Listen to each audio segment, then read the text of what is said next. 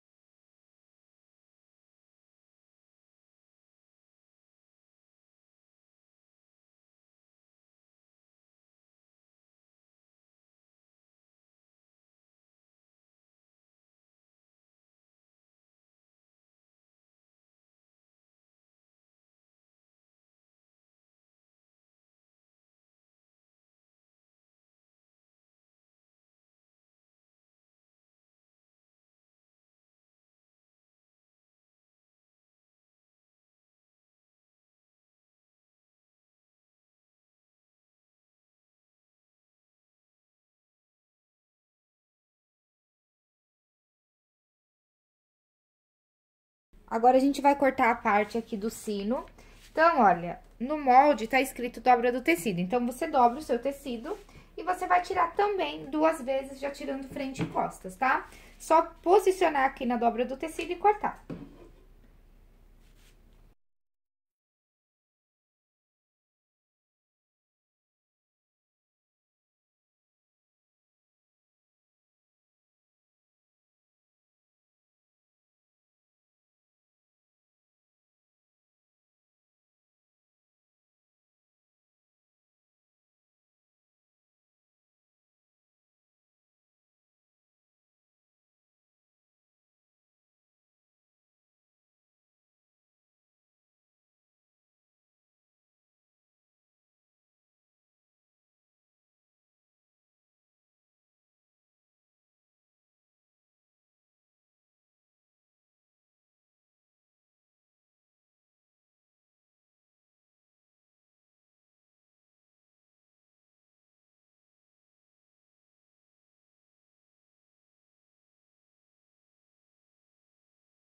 Então, pessoal, agora a gente já vai montar o nosso kit, tá vendo? Falta cortar a parte que é do acabamento de cima e do acabamento aqui, olha, da, da cava, mas a gente vai cortar depois. Vamos primeiro montar o vestido. Então, você vai pegar aqui, vai abrir, olha, e vai colocar lado direito do tecido com lado direito do tecido e vai passar uma costura aqui na lateral, olha, vendo? Fechando a parte, ó, você junta cava com cava aqui, ó, e vai passar uma costura aqui, ó. A cava vai ficar sem costurar, tá? Só vai fechar aqui essa lateral e essa outra lateral aqui. Vai fechar as duas laterais. Vai pegar aqui o babado e vai colocar lado direito do tecido com o lado direito do tecido. E também vai passar uma costura aqui, olha, por esta lateral e por essa outra lateral, fechando o babado, tá? A gente vai costurar tudo na máquina doméstica. Se você tiver overlock e quiser costurar no overlock, beleza. Eu vou costurar com vocês na máquina doméstica. O que, que a gente vai mudar na máquina doméstica?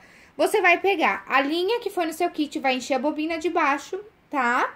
Depois que você colocou a bobina embaixo, passou a linha, você troca a agulha da sua máquina. Coloca a agulha que foi no seu kit, certo? Beleza? Que já é a agulha certa para costurar este tipo de tecido na máquina doméstica. Colocou a agulha, colocou a linha, só vai colocar no ponto zigue-zague da sua máquina. Só isso. Não vai mudar a tensão de fio, não vai mudar nada. Vamos para a máquina, então, agora, costurar e não precisa mudar nada, tá bom? Então, vamos agora fazer todas essas partes aqui. Eu vou dar uma aceleradinha no vídeo, como vocês vão ver, para o vídeo não ficar muito extenso, mas é, vocês vão ver que eu vou costurar tudo na máquina reta, beleza?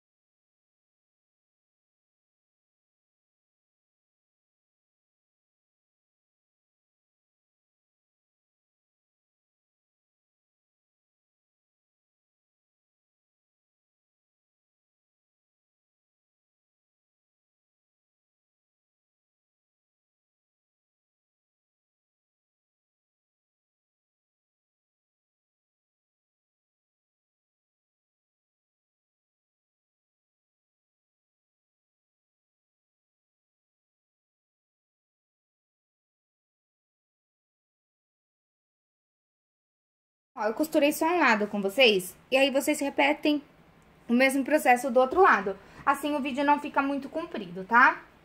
Então, tá aqui, ó, o vestido e o babado. Agora, a gente vai unir. Então, você vai colocar aqui, olha, o seu babado aqui. Ó, parece que ele é maior. Ele não é maior. Na hora que você colocar aqui, ó, vai dar certinho. É só encaixar e passar uma costura, tá? É só passar uma costurinha reta aqui, unindo os dois. Aí, a parte aqui da cava, ó, vamos fazer o acabamento da cava. Você vai pegar a fita métrica e vai medir isso daqui, ó. Vai medir a sua cava. No caso da minha cava, ela tem 20 centímetros. Eu só medi de um lado porque é igual. Então, se tem 10 aqui, 10 do outro, 20. Vai cortar uma tirinha reta no tecido de 20 centímetros. A minha tá até maior. Na largura que você preferir, tá? Então, você vai cortar, olha, a minha tá bem maior. Deixa eu cortar aqui.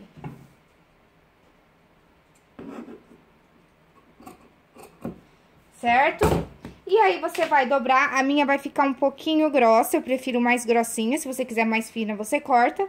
E aí, você vai vir aqui vai colocar, olha, desta forma, ó, e vai costurar tudo junto. Quando a gente costurar, vai ficar assim, tá? Que é o acabamentinho aqui da cava. A gente vai fazer isso com os dois lados, tudo na máquina doméstica, tá? Como eu disse, se você tiver overlock e quiser passar no overlock, aí você passa no overlock. O que que nós vamos fazer também já?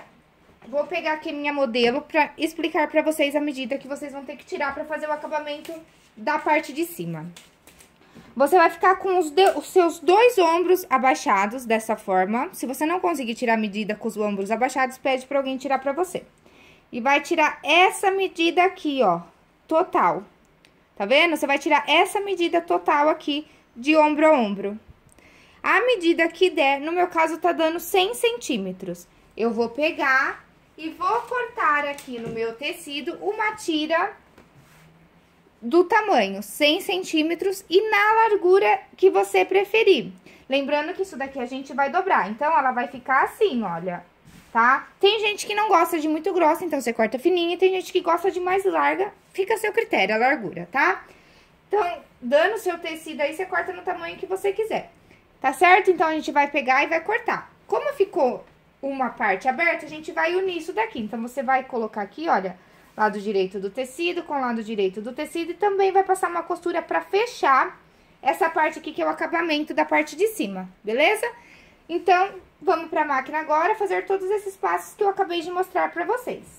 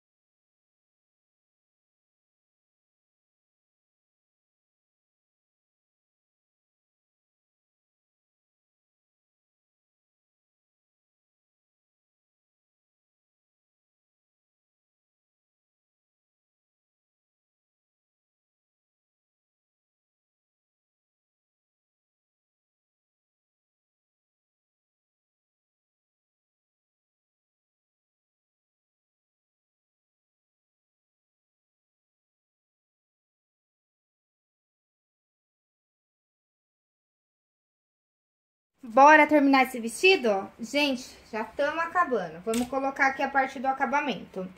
Então, aqui, olha, foi aonde a gente cortou, né, a tira. Então, ele tem uma costura. Então, o que vai determinar qual é o lado da frente e qual é o lado das costas do vestido é essa costura que ela vai ficar no meio das costas.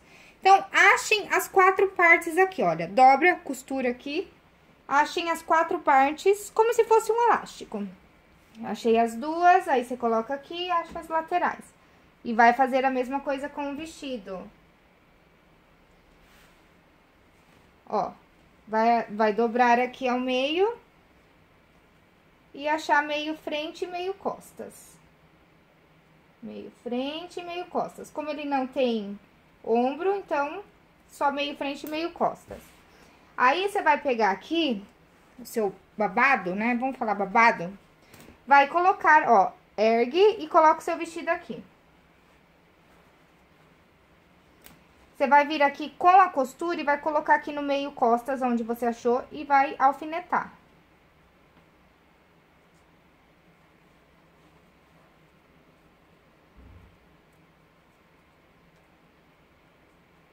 E vai fazer a mesma coisa aqui com a frente, onde você achou meio frente, e vai centralizar aqui, ó, coloca o alfinete, tá? Esses daqui da lateral, nem precisa, porque a gente vai costurar, a gente só vai dar continuidade. Ó, eu só vou alfinetar aqui, que é onde a gente vai costurar.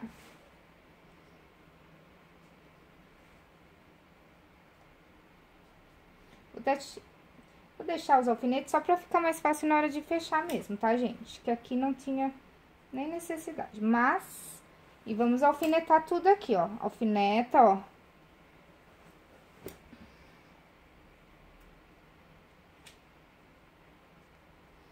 E agora, a gente vai pra máquina, novamente, terminar o nosso vestido, tá? Só passar uma costura de fora a fora agora.